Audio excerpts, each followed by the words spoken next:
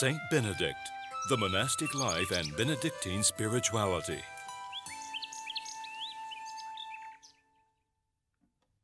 Do you have your toothbrushes? Yes, Mom. Alex, don't forget that a spiritual retreat is about praying, not playing. Yeah, I know. You will be good, won't you? Yes, Mom. Don't worry, Mom. I'll look out for him. It's the bus. Behave yourselves. See you on Sunday.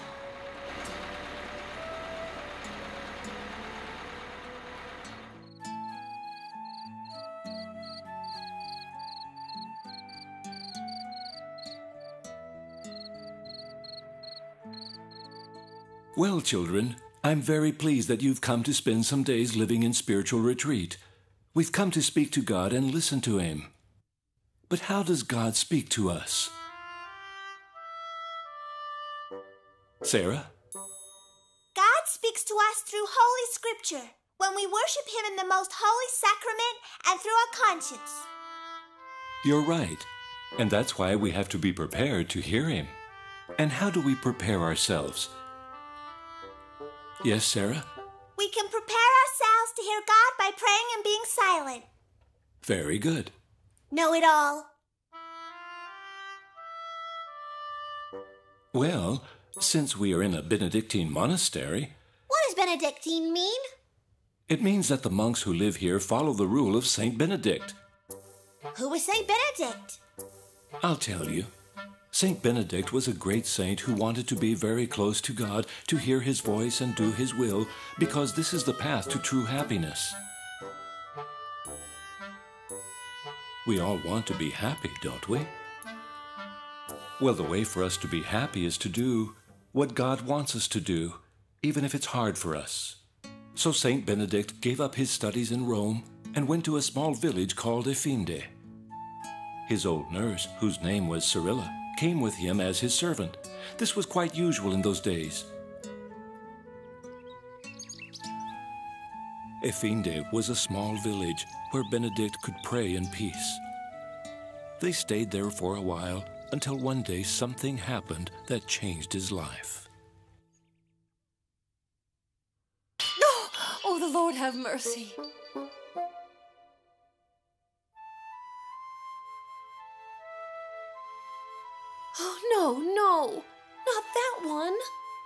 Cyrilla had broken a very valuable pot which did not belong to her. What will I do now?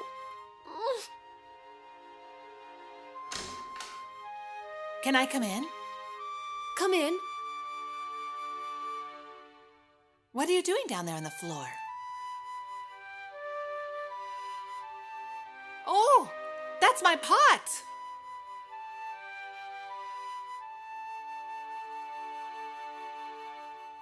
I'm so sorry. How could you do such a thing? I'm truly sorry. I'm so clumsy. That was the best pot I own.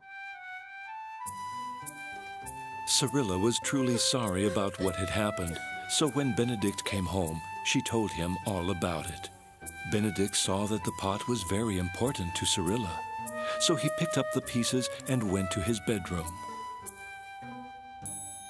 Benedict prayed long and hard and blessed the pieces of pottery. And then a miracle happened. The pieces of pottery fitted themselves together again, and the pot was mended as if it had never been broken. It was a miracle. I saw it. From that time on, Benedict couldn't go anywhere without being followed. Many people from the village and from villages nearby went to see him to ask him to perform more miracles. So Benedict had to move away. And this time he went on his own, without Cyrilla, and he set up his home in a cave in the mountainside near a place called Subiaco. There he fasted and prayed all day long.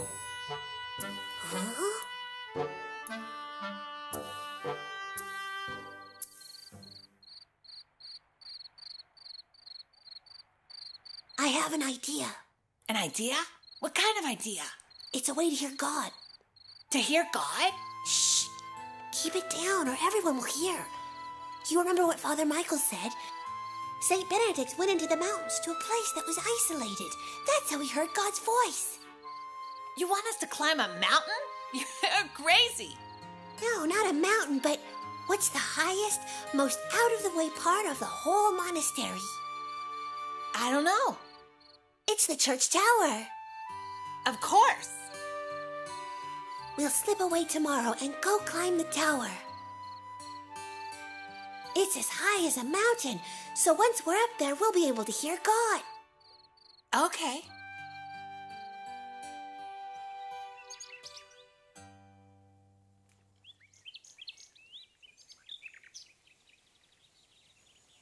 Excellent.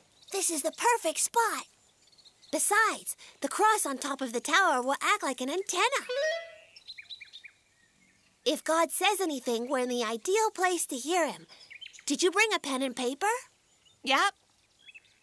We have to write down everything God says to us. I've brought the book about the life of St. Benedict. That way we can read about what he did and do the same ourselves.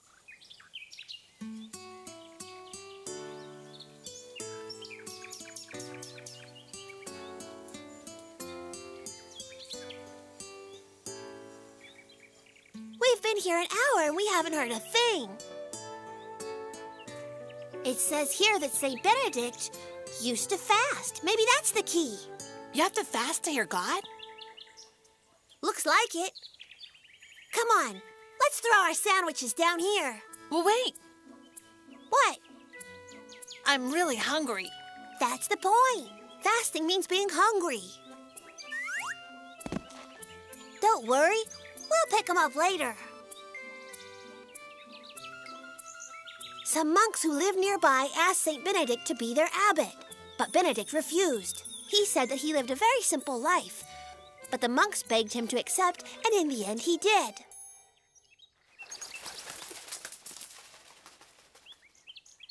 Benedict's life was hard.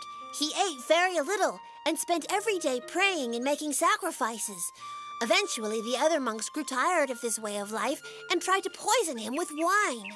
They tried to poison him? That's outrageous. But God was watching over Benedict, and something surprising happened. When Benedict blessed the wine, the glass broke. Benedict saw that they had tried to poison him, and he left the monastery. I'm not surprised he left. He forgave them and went back to Subiaco, where he began to found monasteries that would follow his way of life. Monasteries like this one. That's right. His motto was Ora et Labora. Huh? What did you just say? Ora et Labora. That's the secret.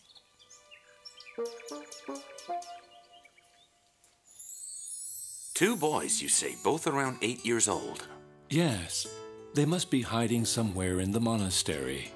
I'll look for them and tell them to rejoin the other children. Thank you, Brother Albert. Those two specialize in causing problems. They're not bad children, they're just mischievous. Don't worry, Father Michael. I'll search the monastery from top to bottom.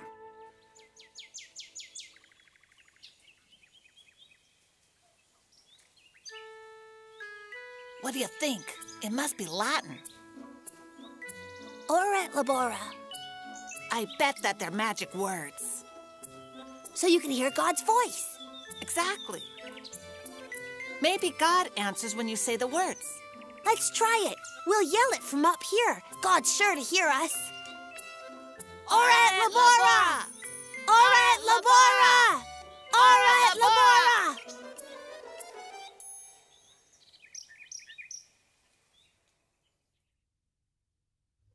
Ora et labora means to pray and to work. These words sum up St. Benedict's spiritual message. It means to pray and to work, to turn your work into prayer. How can you turn your work into prayer, Father Michael? Well, by offering it to God and doing it well, because we can't offer badly done work to God, don't you agree?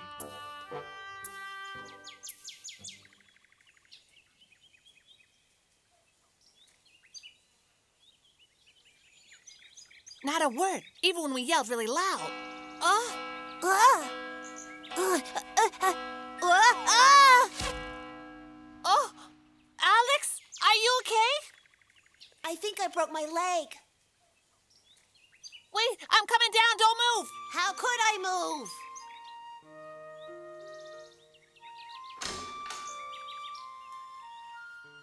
Is there anybody up there? Yes, up here in the tower.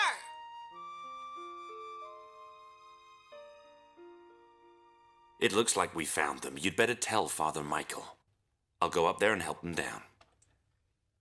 They're coming to get us.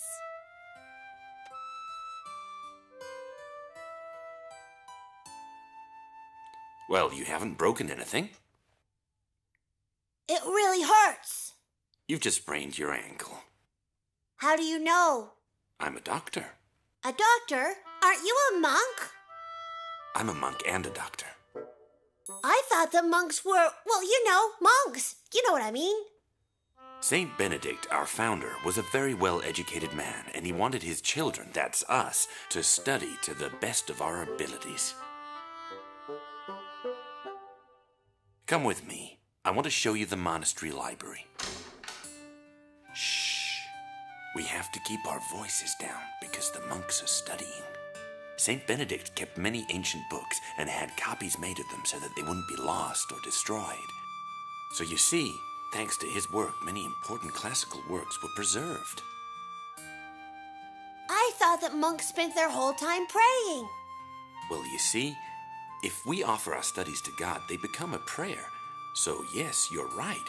Monks pray all day long because we offer everything we do to God. Wow.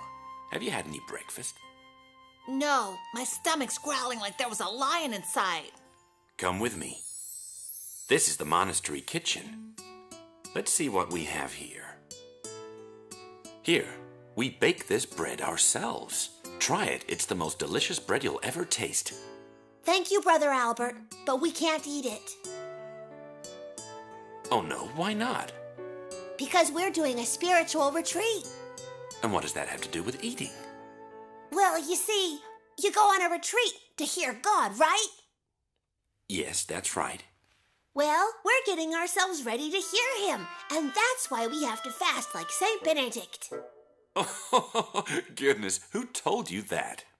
It was in the book about St. Benedict. It says he went up to the mountains to pray and listen to God, and he fasted every day. That's right, but it doesn't mean that you have to give up eating to hear God. That's a relief. We can also eat and give thanks to God for the food. That way you can turn eating into a prayer too. Do you mean that tasty foods and good things can bring us closer to God? Of course, God created the world and filled it with good things. Like chocolate cakes? Or strawberry jam? Yeah, strawberry jam? What's wrong with that? I love it. well, yes, we can also give thanks to God for the things that we like. Oh, you're right, mm. it's delicious. God speaks without words because he speaks to our heart. I don't understand. If God doesn't use words, how can we understand Him? Because God makes us realize things. He often talks to us through the advice that our spiritual director gives us or through our friends. At other times, He talks to us through the things that happen to us. The important thing is to be in tune with God. What does that mean to be in tune with God? It means you have to be ready to hear Him. And that means you have to be in a state of grace and you have to pray.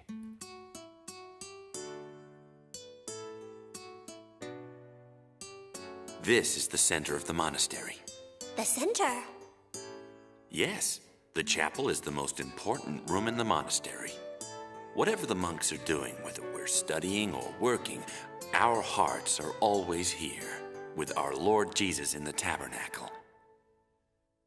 There, this is a holy card of St. Benedict. Saint Benedict was given some land in Monte Cassino, a small region in Italy, and there he built his main monastery.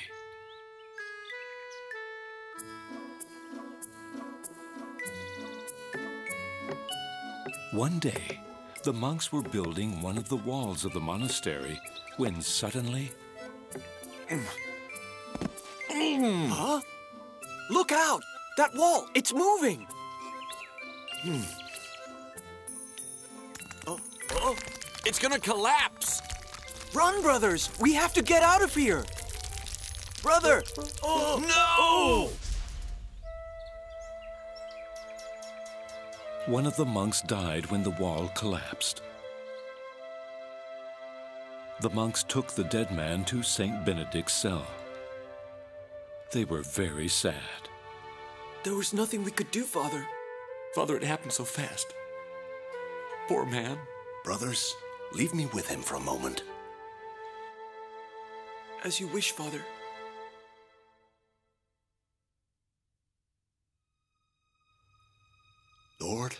Please bring this brother of mine back to life.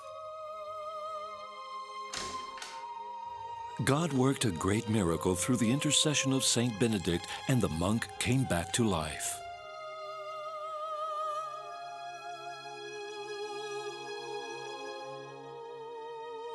Here, this is a medal of St. Benedict so that you remember to offer the whole of your day to God. That way you'll live according to what our founder said, ora et labora, which means pray and work. You see? They weren't magic words. You're right. Look, on one side there's St. Benedict holding the cross in one hand and the Book of Rules in the other. With a prayer, may we at our death be fortified by his presence. On the others, the cross of the Holy Father St. Benedict.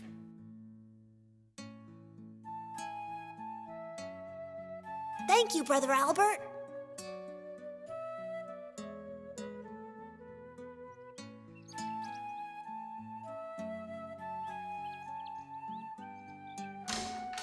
Well, welcome to the group. We're really sorry for going off on our own, Father Michael. That's all right, but please don't do it again. Is that clear? We promise. We were finding out about the life of Saint Benedict. God told Saint Benedict when he was going to die, so he asked his brothers to dig his grave. Benedict was struck by fever. On Good Friday, he received communion. A little while later, the time came for him to go to heaven. We must have an immense desire to go to heaven. Oh, oh.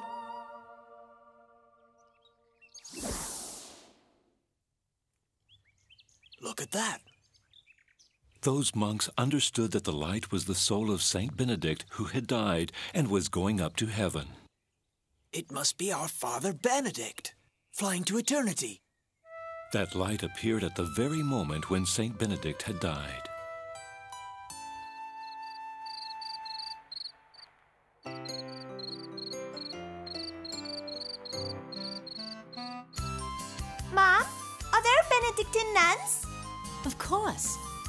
Saint Benedict's sister, Saint Scholastica, also founded convents for nuns with the same spirituality as her brother Benedict.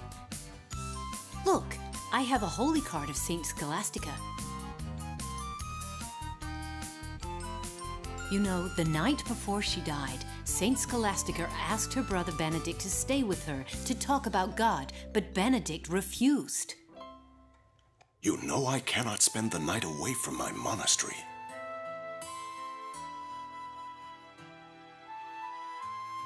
I'll come back tomorrow.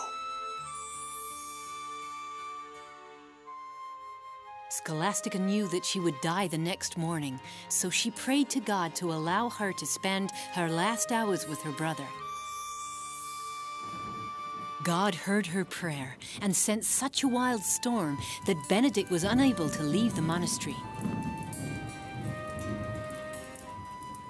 So the brother and sister could be together until daybreak, talking about God and eternal life. The brother and sister were buried together. It's as if Alex founded monasteries for monks and I founded convents for nuns. You know what, Dad? I learned a lot about the life of St. Benedict this week.